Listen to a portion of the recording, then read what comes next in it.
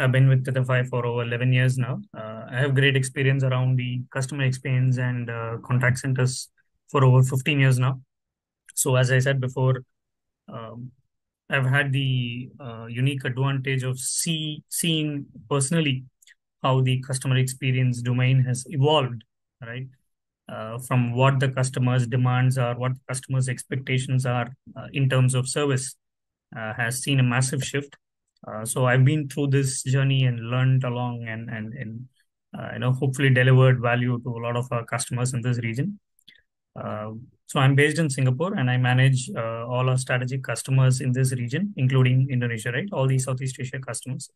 Um, so that's me. And Tetherfi, we are um, basically a omni-channel solution provider, right? Uh, we bring in a unified platform that brings customer interactions through various channels into a single platform. I think more uh, details down in further slides below, right? Uh, in terms of what is the differentiating factor and where we come in, right? So uh, before we delve into the uh, amazing, uh, no, the area of customer experience, I just want to let everyone know that this is not a one way conversation. Um, any any the beauty of any technology sharing session um, is the collaboration and the engagement, uh, right? Uh, so uh, welcome queries and questions from everyone, and uh, would like to engage and see how we can you know enhance our knowledge about the trends in customer experience, right? Uh, thanks for that. So before I go deep inside, I think one of the hottest uh, buzzwords in the industry is AI, right? So I think even Eric Eric mentioned this. So one of the key things is we always believe, we strongly believe uh, that AI provides the tools for any enterprise to be able to scale faster, right? Uh, but at the same time, when it comes to customer experience, it's the human interaction, right? It's the real human interaction and what is the intelligence you can build around that is what is key to delivering a great customer experience, right? AI is there to help or assist the organization's scale to be able to deliver to a large customer experience uh, domain. But at the same time, it's the human interactions that plays a key part. And uh, uh, we strongly believe that is what uh, we are going towards, right? So, a quick overview of the landscape of customer experience today. Uh, you can broadly categorize them into, into two parts, right? One is the CX itself, which is the customer experience. Uh, so if you see the customers purchasing decisions today, a majority of a purchasing decision is, is determined by the factor called experience. What is the customer's experience with the brand, right? Uh, is it a positive experience and uh, how what is the ease of doing business or the ease of doing transactions with the organization right these play a very key uh, part in the customer's decision towards uh, a brand, right? So customer experience is no longer just a support or a service that the organization provides. It's in fact uh, boosting revenues. You know, it's it's you know whether you uh, give good a good customer experience and boost your revenues, or if you make it if the customers find it difficult or inconvenient to use your service, it drops. The sales basically drops, and there are there are real statistics uh, that are showing this today, right? So that's one one key aspect of customer experience. And on the other side, uh, how can the customer self-service a variety of things, right? Uh, and at the same time, be assisted by a agent at the right time, assisted by a human at the right time for the right uh, topics, right? not everything can be self-serviced. At the same time, I think with the with the advent of AI, uh, it's believed that AI will you know kind of be able to answer or respond to any customer queries. But it's important to understand how enterprises can blend them in a way uh, where customers can self-service certain things that they want without the need uh, to be able to talk to an agent. And at the same time, how can the the organizations uh, bring in the digital aspect of customer experience and be able to digital touch point with customers and provide uh, the self-service and agent assisted channels to be uh, together right that's the uh, key blend that organizations need to bring in in, in the cx side now on the other side if you see below uh, right The other key aspect of providing a good customer experience is empowering your agents, is empowering your internal employees with the right set of tools, right? So that's where AX comes in, right? So there is a lot of, uh, especially with the pandemic, and it has it has kind of shown the world that uh, things are possible to be done remote, right?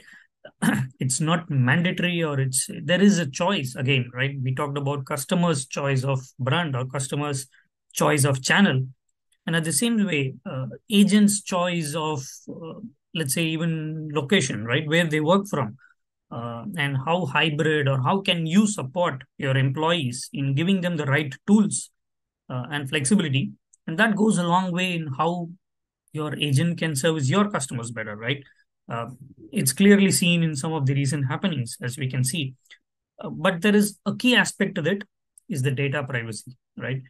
A lot of these organizations deal with sensitive information, customer information, and we have seen huge, uh, you know, internal thefts and you know, uh, data privacy becoming a key topic. So when you talk of AX and giving the flexibility of people to work from home or work from remote locations and service customers, the key aspect is to see how can you secure, how can you ensure that the the customer's data is secured, right?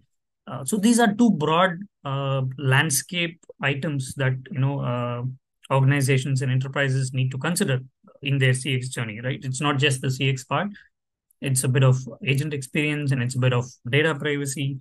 Uh, all these put together uh, is is the right uh, landscape to be looking at customer experience as, right? So on this, like I said, now let me keep to the customer side first, right? omni-channel is a very generic term that's being used, but if I have to put it in certain use case and how and where it plays an important part, uh, like I think Eric mentioned, we're all customers as well, right? Uh, all of us here are customers as well. So, as a customer, the channel that I would like to use will differ from situation to situation. Uh, during travel, let's say I'm commuting to work or I'm commuting uh, elsewhere, uh, I wouldn't probably want to be taking a phone call and trying to raise my query to my service provider. Rather, I would prefer to have a text based support, right? Uh, certain again, certain specific uh, situations like customers needs emotional support, like I mentioned about you know losing a card. It happened to me that I had lost my card once. Um, and the first thing you will want is to talk to someone because that person on the other line is going to soothe you and he's going to tell uh, dear customer, don't worry, right? I'm going to block your card and, and, and we'll issue you a new one, right? So that the human interaction part that I talked about where uh, the emotional aspect of things comes into picture. So that requires a voice channel. Uh, there are certain inquiries where, let's say, the millennials and the modern generation prefer to be uh, getting information over social messaging, right? Uh, anything that happens with the organization, they would like to first interact on social media. I had this experience with so and so brand, and, and and one of the good things is that that I see uh, as a trend is that both good and bad get highlighted these days, right? Uh, if you provide a bad experience, definitely customers uh, make sure that it's known to a wide, uh, wider forum, and at the same time, you provide a good experience. It is also uh, right shared in different forums like social media, right? So that is a very key for organizations today to tap onto, right? It's no longer just another uh, side channel. It's a very key channel for organizations to be monitoring and responding because a majority of the newer generations are going to be uh, interacting through those digital channels, right? And uh, how can customers self-service themselves? What are the various channels through which I can self-service certain things myself, right? Uh, not having to go to a branch. With the advent of uh, digital banks, pure digital only banks, right? Uh, in fact, Indonesia has been the pioneer where uh, uh, the first in the region, I would say, to introduce uh, fully digital banks, right? So we have seen the kind of journey that uh, that has been put to customers where it's branchless. You don't need to go to a branch. You download my mobile app. Uh, you can open up an account or you can get onboarded into our system through there uh, you can do so one of the aspects in this journey is the verification how do you kyc a customer how do you make sure the authentic customer is getting on board right so that's where video has been one of the channels that's been introduced and, and it's really helped right? Uh, unbank the uh, bank the unbanked right? Uh, people from remote locations to don't have to travel to branches to be able to have an association with the bank right? That's the digital advantage that that this channel brings in right? So that way there are a variety of channels that customers would use in variety of situations. But the key is how as our, as an organization you can tap onto it right? If you're using multiple systems for each of these right the agent is not going to find it easy right? I'm going to get a chat in system A and I'm going to suddenly pick up a call and put my headset on and talk to a customer. And then I open uh, an Outlook and respond to customer emails. So that way, I think we're making the life of the agent difficult. Uh, so, like I mentioned, one of the key things is you know you take care of your employees and they take care of your customers. That's right. That's the mantra, uh, right? Uh, so with this, if the agent is empowered with a platform where the customers' interactions are all integrated and unified into a single platform, that would massively increase the productivity of the agent. And you know, that in turn will result in good customer experience, right? Imagine wait times getting shorter for a customer who's trying to get in touch with an organization, right? So that's a massive turnaround in the whole customer experience. So that's where omnichannel is is a very basic need today. I would say it's not just uh, good to have, right? having a unified omni-channel experience to customers is a basic need today. Uh, expectation is almost like, oh, this is taken for granted. I expect uh, this to be provided, right? So a simple use case, right? If I were to put through uh, the different channels that we saw on the previous slide in terms of a journey, if you want to see it like a journey, and this is uh, from a, one of our real implementations actually, right? So uh, a telecom customer, right? So if you can see through the use case, you'll actually see how the different channels come into picture, right? Uh, so let's say a customer has an issue with the Wi-Fi uh, router or whatever he uses at home, right? Uh, so he can quickly get on to uh, certain digital channels that's available, like let's say a mobile app uh, through which he tries to do some self troubleshooting, right? At the same time, let's say if he's not able to proceed with the instructions that's provided or self-service that's provided, in real time, an agent gets connected to him over a video call, right? And during the video call, the system is able to identify and quickly authenticate the customer. Okay, this is uh, who are you, right? And uh, the agent is then immediately on the spot able to help the customer solve his problem. Uh, this is by using video. This is by using uh, you know co-browsing and asking the customer, "Oh, uh, can you do this? Can you do that?" And I can can I see your uh, router? Is this connected? Right. So this is a real use case that I'm talking of here, which uh, has been implemented by a telco customer in this region. And what what that they saw is the dispatch of support engineers, right? Technical support engineers came down by 50% or more in, in the first few months of uh, getting such a service on. Uh, and to the customer, if you see, it's a massive shift in the customer experience. I don't need to book an appointment. I don't need to wait for a support engineer to be dispatched, and he comes on, uh, comes comes home. Uh, I need to be available when he's coming, right? Whereas if you look at this particular use case, it's whenever the customer is available, you're servicing him it's the other way around right? So it's the ease of doing business right? If i if i'm not at home i okay anyway i know i have a problem. I'll do it late in the evening right? So the ease of the customer to be able to decide when he wants to get the service and be able to do it right from the premises of his place and his time uh, all has played a great part right in in terms of the nps or customer satisfaction increase. Uh, it has also reduced uh, in terms of cost right to be uh, dispatching the number of support engineers. It's a key cost saving uh, to the uh, service center, right? So this is not just uh, um, what we are trying to envision, right? And I'm talking about a real use case and how it has helped. So that's the power of digital customer experience and what having the required tools uh, uh, helps organizations with, right? So if I were to now talk about how this blends with the agent side of it, so as you can see, our platform, the Vision AI platform, uh, one of the key products uh, that we have, it it has a certain elements of customer experience where using SDKs and using uh, APIs, uh, either partners or customers themselves can integrate and provide self-services channels on the digital side, right? Be it web or be it mobile app, native apps, Android, iOS, right? And from there, seamlessly bring the customer and engage with a real agent, a live agent, or a video session or an audio session. The choice is there, right? Depending on the use case, depending on your uh, uh, business value, the channel of choice is there, right? And at the same time, the same Vision AI platform extends to the inside, right? The, to the internal, the employee side, where you're securing the customer's premise in terms of you know uh, what are the tools on his desktop? Is the data on the screen safe right? Uh, and how can he collaborate with the supervisor? Because uh, one of the major major things uh, probably i feel is taken for granted in this customer experience uh, domain is the uh, agents what the agents go through right?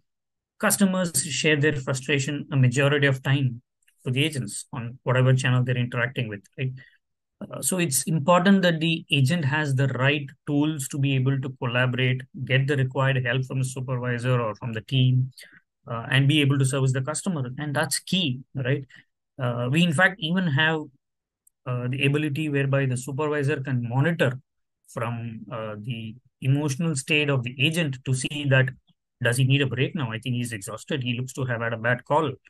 Uh, I need to probably go and help him out here, right? So that's the part where we are leveraging the Vision AI on the internal and making sure the agent and the employee gets the required support uh, to be able to service the end customer better, right? So that's the value uh, what what this platform uh, we are trying to bring in and help enterprises with. A quick summary of the. Uh, uh, okay. Sorry, Andy. Oh, go ahead. This is the last slide, right? Probably a couple of them. Yeah, I'll quickly finish. Okay. So a quick overview of the stack. Um, uh, basically, I don't want to go through each of the boxes here, but you can see on top is where the customer touch points are. You have the legacy channels and you have the digital channels and, you know, uh, the long uh, text-based channels, right? So we have connectors for each of these. And uh, we have the central engine layer, the interaction workflow, which basically provides the self-service capability for variety of channels, be it voice or be it text-based uh, and then comes the agent side. So you basically fall back from a self-service to an agent. So the unified agent experience is the is the uh, multimedia agent console here, and it basically has uh, a unified platform uh, uh, with calling capability, and we have all the connectors to external systems. Uh, we talk about CRMs, we talk about NLP engines, and backend right APIs to retrieve certain custom information and provide. So all of these are custom connectors that are available, right? And the data from the entire system is fed into uh, platforms like uh, you know uh, workforce management because uh, all this data is required to be planning how the agents are required when are the peaks what are the uh, you know time when you need more people. So all of that data is being fed into external systems as well right? Um, so with this quickly to summarize uh, the advantage or the value that we bring in is is that it's it's digital first right uh, mobile web or any digital first is our is our goal. And at the same time we can coexist with legacy systems right? So that's the key where uh, you want to go the digital journey. And at the same time uh, we can coexist with existing telephony and there's no rip and replace right? You have a platform today uh, we, would, we would always uh, not want the customers to rip and replace but we can coexist and provide the digital capabilities on top of it. And the whole architecture is built in a way that it's modular uh, it's not necessary that you have to buy the entire stack or you have to use the entire solution suite, right? Uh, you use probably uh, chat and video. You use only email and SMS or voice and email, right? So it's a modular built architecture that allows customers to choose and plug and play uh, depending on how they build, right? So there's there is this uh, build, run, and you know jog and run, right? You can you can decide how you move fast, right? So that's uh, the quick what I wanted to share today. And uh, thanks for this. Looking forward to the questions.